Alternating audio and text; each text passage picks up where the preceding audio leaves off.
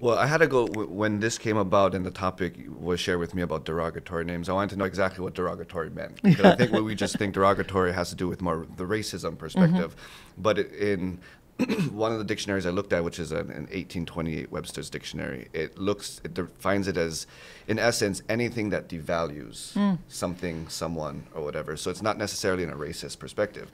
Right. So I mean, I wanted to look at that because even just the name Lanikai, it may not be derogatory in a lot of people's minds, but it is in the sense when it's devaluing what was the name, what was the story there, because that goes back to another developer.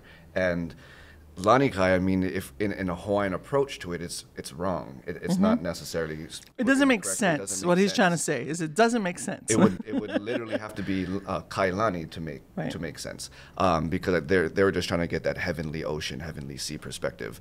But again, that only comes back from I think the 1920s, 1930s when that area was developed, and before that it was Ka'ohao. Mm, mm, mm,